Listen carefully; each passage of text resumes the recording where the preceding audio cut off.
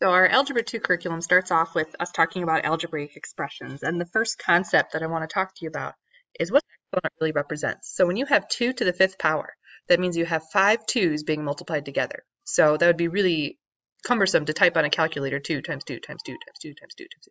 So we just type 2 and then to the fifth power, or hopefully at some point in your life you'll know that that is equal to the number 32. Uh, the same can be uh, done for exponents with variable bases instead of numeric bases. Uh, the difference is here, each of the variables have their own separate base. So I have x with another x, another x. So simplifying that would be x to the third power. And then two y's multiplied together would be y squared. We're going to leave off? Sorry, I just ran out to go yell at my kids. All right, so we're on letter B, looks like. Um, our expression is 4x times another 4x times another 4x. So that would be 4x is the base raised to the third power. And then 3y, 3y would be 3y raised to the second power. Now notice I have parentheses around the entire base of 4 and x because I could also separate that as 4 to the third power, x to the third power, 3 to the second power, y to the second power. And I could simplify further, but we're trying to illustrate what exponents do. So here for part C, it has 6n four times. So that's the quantity, 6n, raised to the fourth power, and then a random subtract 3 off to the side. So talking about parentheses and the use of parentheses on your calculator, we're going to have a really big difference when we use parentheses and when we don't. And we have to be careful whether we want to use parentheses or not. For instance, if I want to take the base of negative 3 and raise that entire base to the fourth power, if I type it in exactly like that on my calculator, my calculator will follow order of operations and do exactly four negative 3's multiplied together, giving me a positive 81. Now on the contrary, if I were to type a negative symbol and then 3 raised to the fourth power, my calculator sees that as a negative coefficient and then only 3 as the base raised to the fourth power. So it's going to pop out a negative 81. So we get this every year where there's some kid who's very heavily dependent on their calculator who says, oh, my calculator gave me the wrong answer. And that's not what that's not at all what's happening. Um, it's user error, unfortunately, and you got to be careful that you're typing in what you mean to type in. So talking about order of operations, yes, your calculator will follow order of operations perfectly, assuming that you are typing them in perfectly. But it is nice of us to remember how to do order of operations without a calculator. So parentheses first, and then exponents, multiply and divide is the same step, and then add and subtract, moving left to right. Now, talking about parentheses is kind of weird because sometimes there are what we call implied parentheses. We're going to see that on another section coming up. But for instance, here on part A, inside the parentheses, I have negative 2 plus 5, which would be a 3. So my problem becomes negative 4 plus 2 times 3 squared. And then I've taken care of the parentheses. So now my exponent would be 3 squared, so just the base of 3 squared would be a 9, so negative 4 plus 2 times 9. And then multiplication comes next, so negative 4 plus that becomes an 18, and then my answer pops out as a 14. Now, I know you're saying, Abruzzo, I could have just typed that on my calculator, had the answer like four years ago, um, but there is a non-calculator portion of the SAT test that's going to come up for most of you this year.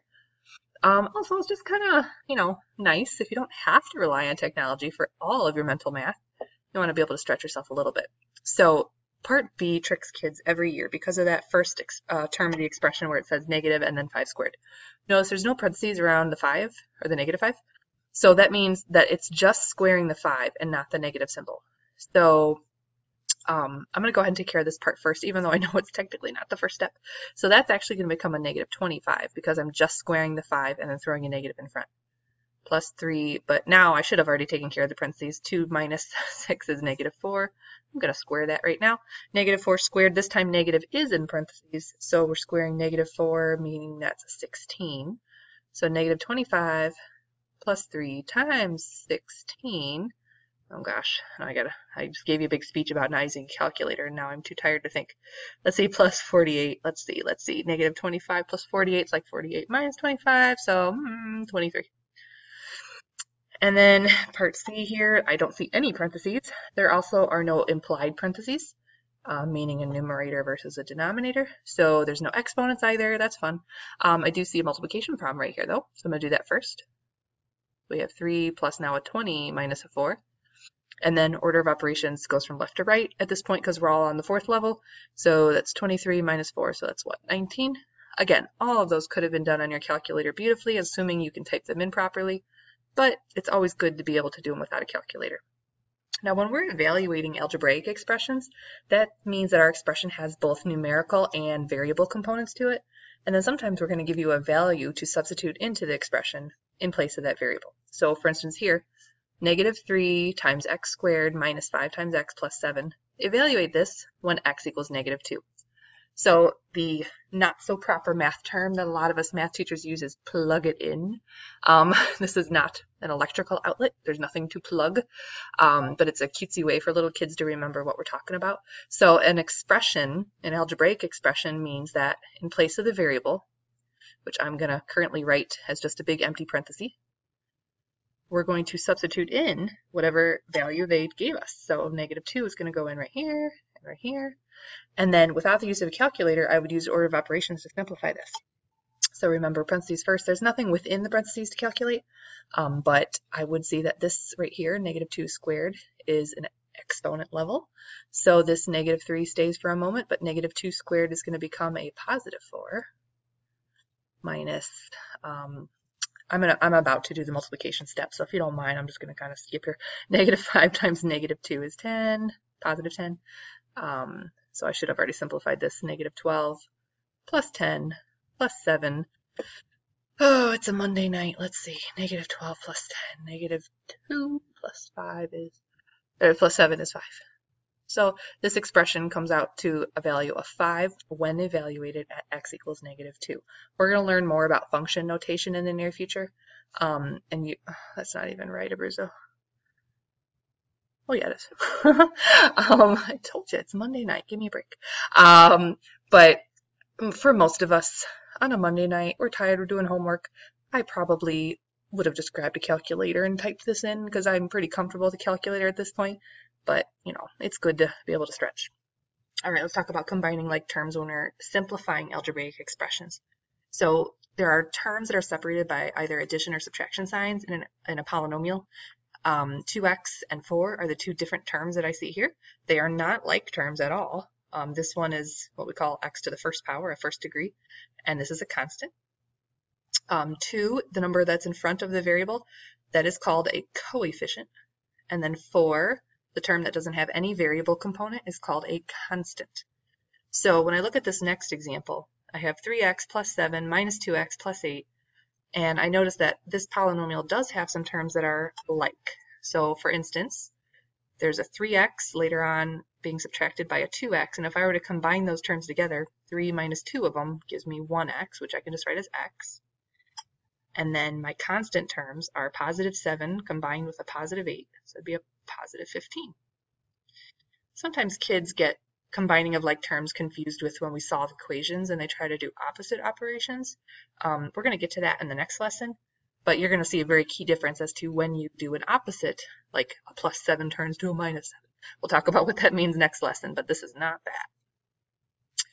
So we're going to combine like terms and simplify this um, these expressions, and sometimes you can give answers in different formats. We're going to try to always answer in what's called standard form. We'll learn more about that in the future but here 7x and 4x would combine to an 11x. Um, in this next problem, the only combinable terms are the n squared terms. We're going to learn later that's a quadratic term. So 3n squareds minus 1n squared is 2n squareds when I combine those. And then there's still that 1 plus, plus 1n. These are not like terms that you can combine. This is n to the first power and this is n to the second power, and that's why they're different terms. So in this next example, we're actually multiplying these two numbers together. So we're going to distribute 3x. So 3x times 8x, remember, is 24x squared. And then 3x times negative 6 is negative 18x. Neither of these are like terms, because again, this is x to the second power, this is x to the first power. So um, you don't have to write that first power there. That's a little confusing. Let me get rid of that.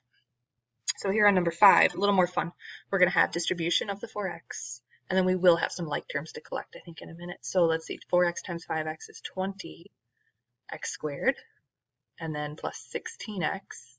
Then off to the side of that distribution term is uh, minus 18x. So now it looks like we do have some like terms to collect right here. I have 16x minus 18x. When I push those together, it becomes a minus 2x. And then there's nobody to collect with the 20x squared. So that would have been my final expression answer. Careful on this next one. Um, there's double distribution. Look at this. 2x plus 2. Now careful. This is a subtracting a 3, but he's being multiplied by this as well. So we can think of this as distributing a negative 3. So that becomes a negative 3x and then a plus 12. So, fun times. We have a couple like terms here. 2x minus 3x becomes negative 1x. So I'm just going to write that as negative x. And then um, plus 2 plus 12 pushed together is a plus 14. Sorry about the handwriting. Summer and handwriting sloppy. All right. Distributing a 4 to this expression, and then this time it's a positive 3, so we don't have to worry so much about the distribution of the positive. So that becomes a 4x minus 8 plus 3x plus 12. And now we have a couple of like terms to collect again. So 4x, uh, 3x is 7x, and then negative 8 plus 12 is plus 4. I know they seem pretty basic because you did a whole bunch of this in Algebra 1, but it's been a long summer for everybody, so let's get back in gear. Uh, oh, number 8, fun times. We have distribution. The secondary distribution has a negative, and then there's like weird variable parts all over the place. So let's start with 6x times x, which is 6x squared, plus 30x on the next term. And then careful on this one, we got a negative 7, so negative 7x. Careful here, negative negative is a positive 7x squared. So when I look at my like terms, I notice that the 6x squared and the plus 7x squared will now combine together to give me 13x squareds. And then plus 30x minus 7x pushed together is a plus 23x. Now, I know I made a big to do about not using your calculator and you know being proud of yourself for not doing any calculator work. But if you're on a summative or something important like the SAT test and you are given a calculator and you feel like this is a moment where you might be making a mistake by all means grab the calculator double check your mental math but you know do yourself a favor and make an attempt at the mental math before you check it on the calculator and then register like oh goodness that was not right. And then think to yourself why you didn't do it right because that's how we learn those mental math steps. And I know after the first couple of grades of elementary school, they don't make you do too much mental math. I give you a calculator pretty quickly these days. Um, but you'll thank me in the long run, guys, I promise. All right. So this problem, um, you have $50 and you're going to buy some movies on DVD that cost $15 a piece. Write an expression that shows how much money you have left after buying a mystery number of movies and movies. And then we're going to use that expression. We're going to evaluate it when I buy two movies versus when I buy three movies. Now, I know what you're thinking this is a really dumb problem because like would I really pull out some algebra to figure this out? No, I'd probably just think really hard or, you know, worst case scenario, just show up to the store and try to buy some things. Um, but think bigger picture here. So we're giving you a very basic, simple example of how algebra can be used to essentially program something like a cash register or a computer, something that has to think really quickly um, and algorithmically all the time and it can't be a person. So a person has to program this machine to think like a person. That's the cool part. So the verbal model is how your brain very quickly registers what's happening in the problem. But the verbal model is cool because it puts either um, words, phrases. Sometimes we can use, even use pictures. Like when little kids do this, they draw pictures. So the original amount is what you're going to start with when you walk into the store. And then you're going to subtract off two things that are being multiplied together. So if we think about that, that's going to be um, the cost of each movie. But if we buy more than one movie, we're also going to have to multiply that by the number of movies. And then once I figure out the subtraction problem, that's how much amount I'm going to have left or how much change I'm going to get. So this is essentially how they program cash registers to work. So, you know, the, the kid who presses the cash register at Target doesn't get paid that much money, guys. But the person who programs the cash register for Target gets paid a ton of money. So let's talk about plugging in what we know here. So the original amount is $50, I believe. Yep. And then I know each movie costs $15, but then we're going to multiply it by how many movies we buy. But they told me to kind of leave that in what we call the general term. So they're going to say, just call it N for now. And that's the algebraic expression that represents how much money we're going to have left. So if I take that algebraic expression now and my customer buys two movies, then I quote plug in or evaluate this expression at 2. Whoops. So what's that? 30, right? 50 minus 30 would be $20. So this person has $20 change. Um, but in another situation, when my uh, my customer or myself, whoever, uh, purchases three movies, that's 50 minus 45. That means this person has $5 left. So it's kind of neat. And I know it was a very basic problem, but just remember the cash registers aren't like magical creatures that know, pop out of the factory knowing what they're doing. Some human has to program things to work. So let's look at this example. You want to buy a CD or a DVD for a gift for each of 10 people. And CDs cost $13 and DVDs cost $19. You're going to write an expression for the total amount of money you spend, and then you're going to evaluate the expression when four of the people get CDs. So this is kind of an interesting idea because if I let you use two variables, this is going to be a really easy problem. But if I only let you use one variable, then this becomes a little more challenging, but more streamlined when it comes to programming like machines. So if we start with um,